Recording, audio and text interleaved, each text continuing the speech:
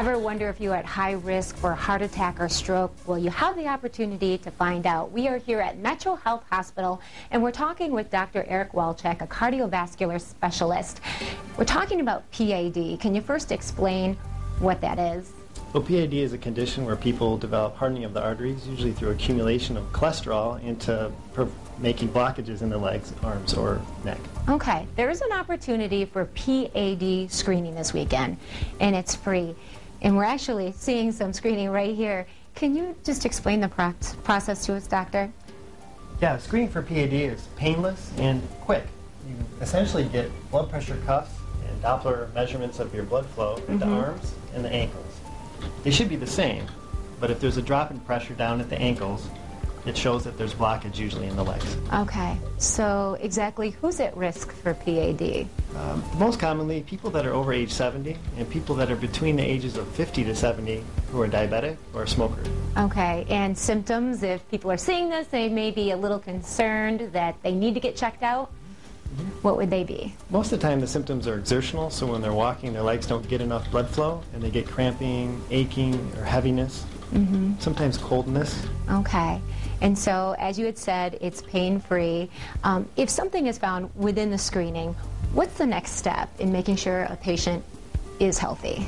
They usually will follow up on their family doctors, and it can vary between just more aggressive medical therapy to prevent the heart attacks and strokes down the road to non minimally invasive stent procedures or surgical procedures to bypass the blockage. Mm -hmm. As with all good health, we like to talk about prevention and making sure that you stay really healthy.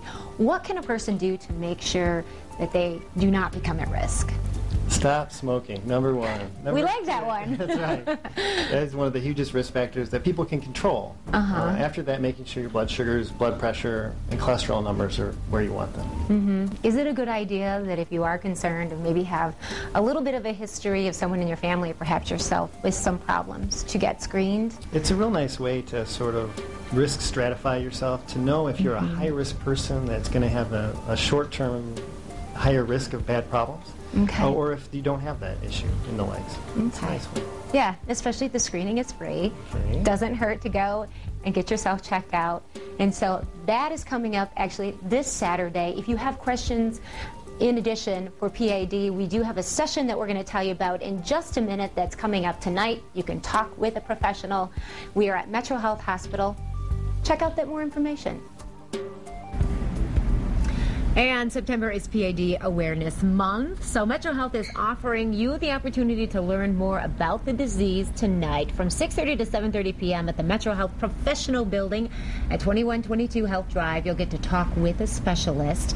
Have your questions answered. The session is free and everyone is welcome. And then this Saturday from 8 to noon, they'll be doing free pad screening at Metro Health Hospital. The address, 5900 Byron Center Avenue, Southwest in Wyoming. You're asked to register because limited space is available. We've got the number for you, 252-7117, to get this free, non-invasive screening.